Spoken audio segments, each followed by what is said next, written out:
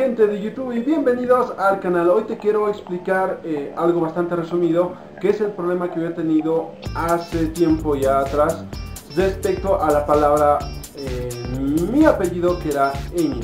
Bien, entonces, ¿qué es lo que pasa? Cuando nosotros o cualquier persona quiere recoger lo que sería su dinero Supongamos que quieres recoger de Google AdSense, bien, y escoges el método de pago. Te dan tres opciones, lo que sería Western Union, cuenta bancaria o por cheque. Muchas personas escogen lo que sería Western Union, ya que es mucho más sencillo. Bien, ¿qué es lo que pasa? Tú escoges Western Union y al momento de escoger Western Union tienes que poner tus datos, nombre y apellido. Pero supongamos, te voy a poner un ejemplo que mi apellido lleva N.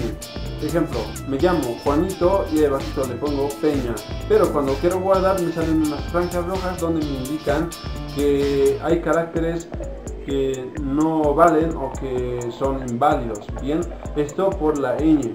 Es que cuando tú vas a Western Union te indican que la ñ no reconocen o no reconocen los programas de Western Union el apellido ñ. Ejemplo, eh, como te he dicho, yo me llamo Juanito Peña, voy a poner simplemente en esos datos Juanito Pena, sin la ñ. Todo igual menos la ñ, en vez de ñ una n, pena. Y con esto, una vez que tú envíes tus datos, eh, te envíen el código, te van a entregar tranquilamente, no tengas ningún problema. Bien, ¿y qué es lo que pasa si tú dudas?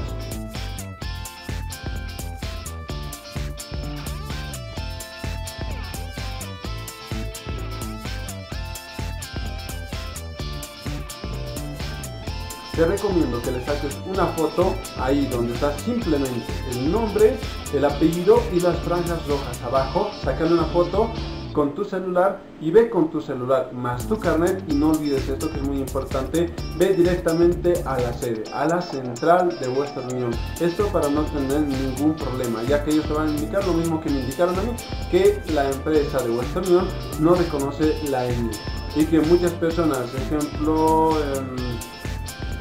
tenían este problema de la N le han cambiado por la N y ya está, no han tenido ningún problema. Esto simplemente en la central de vuestra unión de tu localidad o de tu ciudad. Así que no sufras mucho y como te he dicho, si tienes algún problema, ve, vale, sugerido. Así que nada amigos, espero que te haya servido esta información y nada, nos vemos. Chao.